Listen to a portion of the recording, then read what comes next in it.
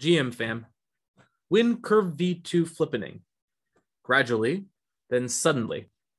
The phenomenon that is Stargate's launch has been a clear cut success story, not just for Stargate, but also for Curve V2. The Stargate Curve Pool remains the largest trading source for this hot selling token, and it in fact pushed Curve V2 to record volumes. Yet few realize it's not just Stargate, but several successful Curve V2 pools, all of which are dominating. For instance, did you know every crypto based Curve V2 pool with more than 10 million TVL is already outpacing its Uniswap equivalent, and its volume is often rivaling exchanges? Consider the case of the Convex ETH pool. This curve pool is nearly twice the liquidity of the next largest DEX, and it's the most popular trading source for this ascendant token. The Convex ETH pool looks primed to continue its dominance. It's providing great rewards to liquidity providers who can just sit there and earn. We're seeing similar flippenings playing out throughout. ETH pools like Curve, Yearn, Threshold Network. Consider Redacted Cartel's Butterfly token.